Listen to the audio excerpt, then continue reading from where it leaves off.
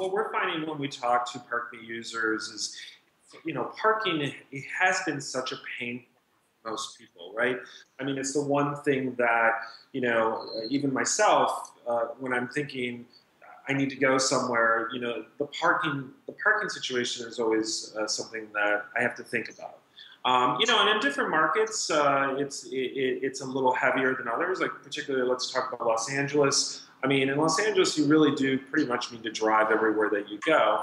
Now, there's car share, sharing services. There's also, um, you know, uh, uh, Zipcar and all these other companies, and and those are all great. But you still need to park the car somewhere.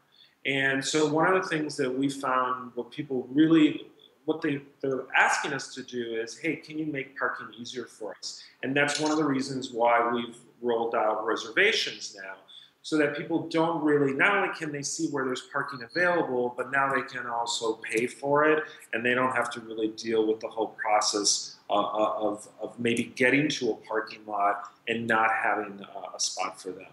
And, and people really love the idea of that. You know, when, you, when I talk to people and I explain to them what I do, um, you know, and I, and I tell them, oh, we help you find parking, and, on top of that, you can also prepay for your parking and make sure you have a guaranteed spot.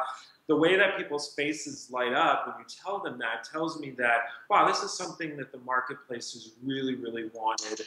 Um, and so I'm really happy to be part of that and, and help make, uh, you know, change basically the way that people park.